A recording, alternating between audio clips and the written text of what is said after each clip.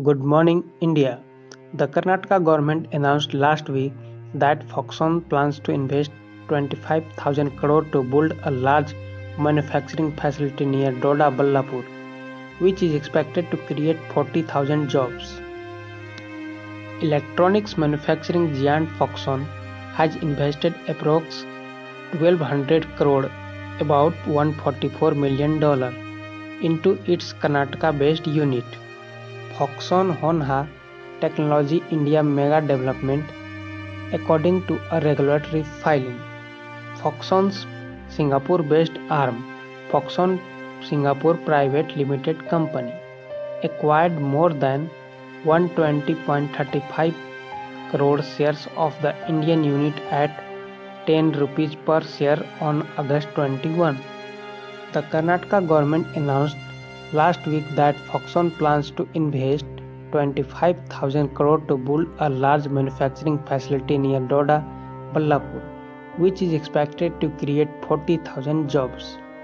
Foxconn chairman Young Lee noted that the new plant will become the second largest Foxconn facility globally after the one in China. Lee also mentioned that the company intends to explore investments in other sectors in the future. With this, sorry, with this latest investment, Foxconn Singapore has now committed over 13,800 crore to its Karnataka operation. The state government has allocated 300 acres for the new mobile manufacturing unit. Thank you so much for watching. Please subscribe, share, like, and opinion for this news. Thank you. Baron Capital marks Swiggy's valuation at 14.7 billion dollar.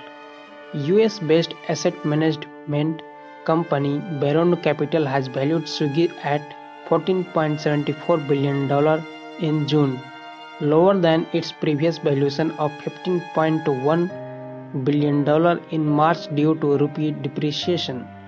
Swiggy is gearing up for its IPO and aims to raise 1.25 billion dollar.